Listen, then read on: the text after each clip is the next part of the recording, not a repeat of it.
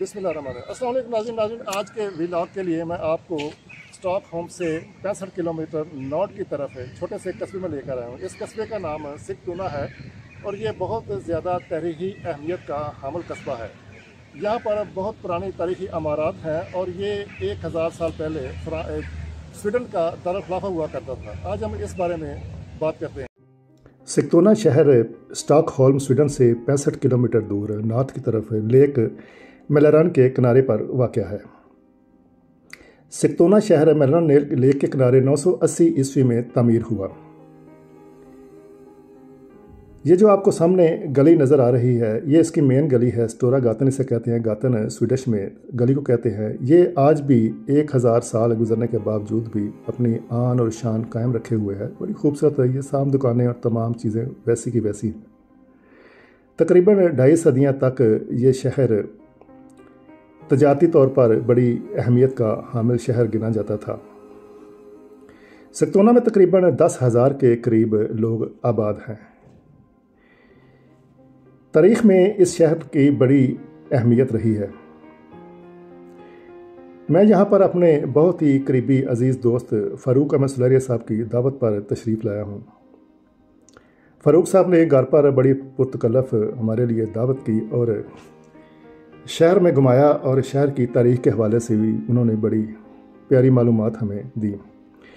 ये अब हम जिस रेस्टोरेंट की तरफ़ दाखिल हो रहे हैं, ये तकरीबन हज़ार साल पुरानी इमारत है, ये देखें। पूरी लकड़ी से बनी हुई, इसको अब एक खूबसूरत रेस्टोरेंट में तब्दील कर दिया गया है। ये बाहर इसका टेरेस बनाया गया है, अंदर आप देखें कि ये तमाम चीज़ें जो पुराना फर्नीचर और दूसरी नवादरात उसी तरह संभाल कर रखी गई हैं। यहाँ पर काफ़ी बैठ के पीना भी लोग अपना फ़ख्र महसूस करते हैं। बड़ा खूबसूरत रेस्टोरेंट है।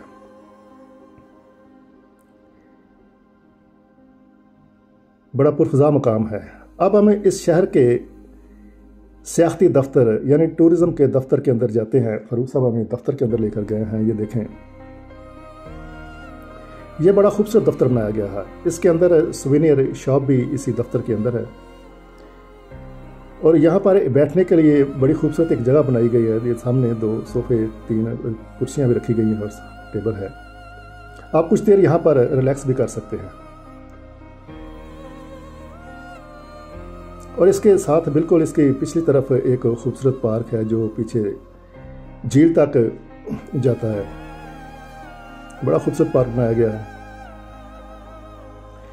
शहर की शोर से दूर यहाँ आकर आपको बहुत अच्छा महसूस होता है। अब हम ऐसी जगह पर पहुँच गए इस जगह, खुली जगह पर, जहाँ पर इसकी, इनकी पुरानी इमारत है, जिसे मेयर ऑफ़िस कहा जाता है। ये पुराना मेयर ऑफ़िस सामने नज़र आ रहा है। आज भी ये मेयर ऑफ़िस उसी तरह अपनी शान कायम रखे हुए है। इस मेयर ऑफ़िस के अंदर मेयर का दफ्तर और कुछ दूसरी नवादरात जो है, उसी तरह उनको महफूज कर लिया गया है, लोगों के विज़िट के लिए वैसे ही चीज़ें रखी गई हैं। सामने कुछ मेयर्स जो यहाँ पर रहे हैं, उनकी पेंटिंग्स लगी हुई हैं, वो सामने आप देख सकते हैं।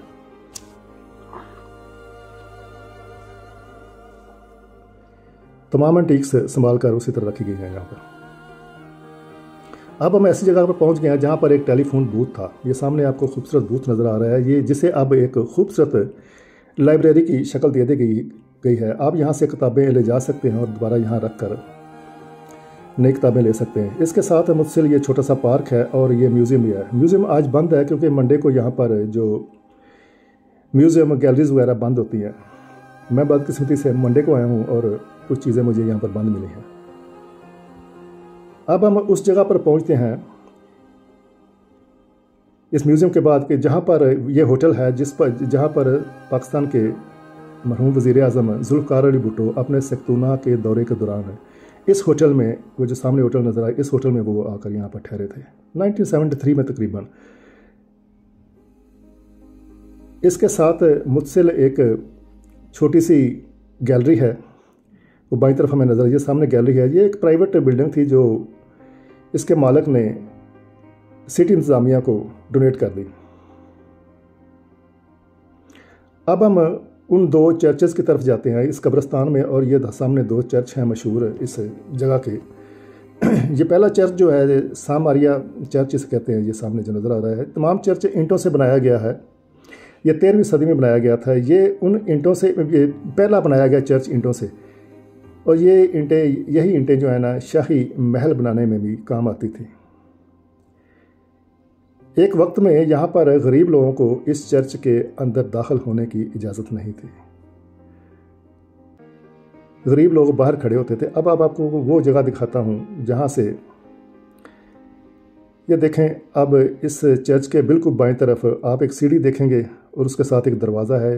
गरीब लोग यहाँ बाहर खड़े होते थे और पादरी का नुमाइंदा इस दरवाजे में खड़े होकर, अंदर पादरी का बयान सुनकर लोगों तक उसका पैगाम पहुँचाता था। गरीब लोग अंदर दाखिल नहीं हो सकते थे। और आज सूरत हाल ये है कि ये लोगों को बुलाते हैं, लोग चर्चेज़ में आते नहीं इसी कब्रस्तान में दूसरा चर्च हमें नज़र आता है, ये देखें, जिसे सांत ओलफ चर्च कहते हैं। जब जब इन्होंने अपना फ़िरका तब्दील किया, यानी कैथोलिक से प्रोटेस्टेंट की तरफ़ माइल हुए तो इस चर्च को आग लगा दी गई थी। सिकतूना में, दुनिया में सबसे पुराने आपको यहाँ पर खंडरात मिलेंगे।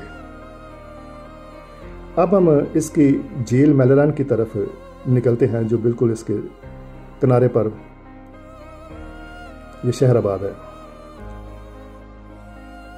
अब हम उस झील पर पहुँच गए हैं। झील का पानी दो पहाड़ियों के दर्रे में से आता है।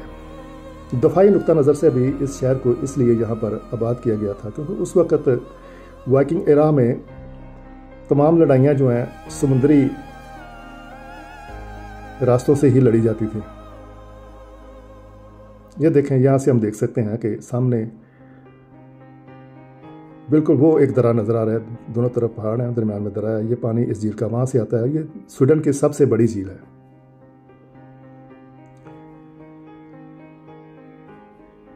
इसी बिल्कुल झील के किनारे पर छोटा सा ये गोल्फ बनाया गया है। गोल्फ ग्राउंड, इसमें मिनियाचर मिनी गोल्फ है और इस शहर की छोटे मिनियाचर यहाँ पे बनाकर रखे गए हैं। और आखिर में मैं दोबारा अपने दोस्त फ़रूक अहमद सलेर साहब का शुक्रिया अदा करता हूँ, जिनकी बदौलत मैं इस खूबसूरत शहर को देख सका। नाजिन अगर आपको ये वीडियो पसंद आई हुई तो बर मेहरबानी से सब्सक्राइब, लाइक, शेयर और बेल आइकन का बटन ज़रूर दबाइएगा। खुदा हाफिज़।